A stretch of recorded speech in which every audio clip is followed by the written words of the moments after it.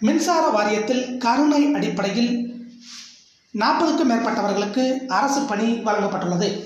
மேலும் பல்வேறு துறைகளில் கருணை அடிப்படையில் பணி வழங்கப்பட்டுள்ளது. வாங்க பார்க்கலாம். செப்டம்பர் ஏழு. கருணை அடிப்படையில் முன்னூற்றி அறுபத்தி ஐந்து பேருக்கு பணி நியமன ஆணைகளை நேற்று தலைமைச் செயலகத்தில் முதல்வர் ஸ்டாலின் வழங்கினார்.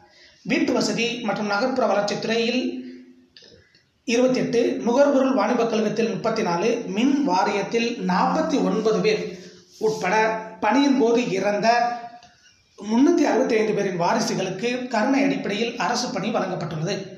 கொரோனா தொற்றால் இறந்தோரின் வாரிசுகளும் அடக்கம்.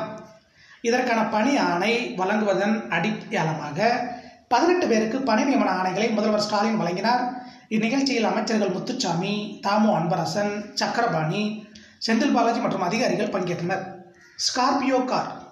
மாவட்ட ஊரக வளர்ச்சி முகமை திட்ட இயக்குநர்களுக்கு தொண்ணூற்றி எட்டு லட்சத்தி தொண்ணூற்றி ஓராயிரம் ரூபாயில் வாங்கப்பட்டுள்ள ஒன்பது ஸ்கார்பியோ கார்களை முதல்வர் ஸ்டாலின் நேற்று வழங்கினார். இதில் அமைச்சர் பெரிய கருப்பன் ஊரக வளர்ச்சித்துறை முதன்மைச் செயலர் கோபால் மற்றும் அதிகாரிகள் பங்கேற்றனர்.